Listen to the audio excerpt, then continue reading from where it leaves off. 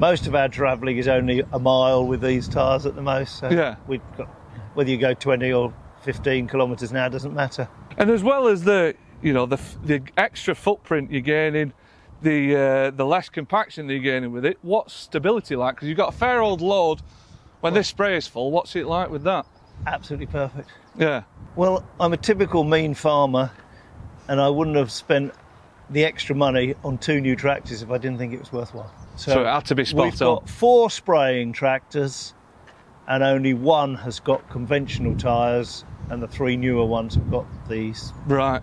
And how do the conventional tyres compare? They're just literally shorting down those working opportunities. Well, we now got the ordinary tyres pulling the, the smallest sprayer we've got. Right. It's 1700 litres compared to the other one, it's 2000. So obviously that's 300 kilos more water you're carrying every time. Yeah. And that's for the other one. And that is more the spare one that would get used. And we could be selective as to which bit of ground we drive it over. The, Right.